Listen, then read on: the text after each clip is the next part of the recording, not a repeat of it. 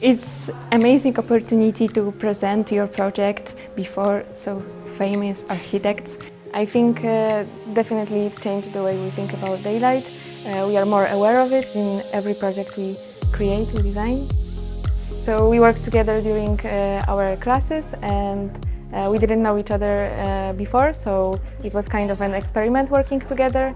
We saw the potential of our project. Hey, maybe it will be a good idea to take the part in the Velux competition. I think the main benefits are um, making uh, international contacts to uh, travel and see architecture in other parts of Europe. Uh, that was really inspiring. It was amazing to see how culture and the, the place you come from affects the way you think about architecture, about daylight and how you develop your project.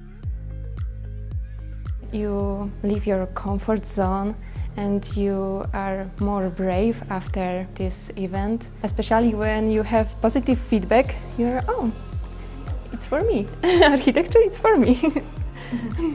uh, if you want to design something for the competition, don't be so shy, be more open. I would say my advice is to think about the graphic representation, that it is clear and uh, the project speaks for itself. One of the highlights of the whole experience was, of course, the winning part when we heard our names and it was a complete surprise.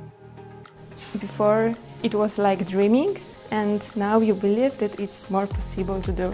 You can do next step. And I think the dreams get bigger and bigger.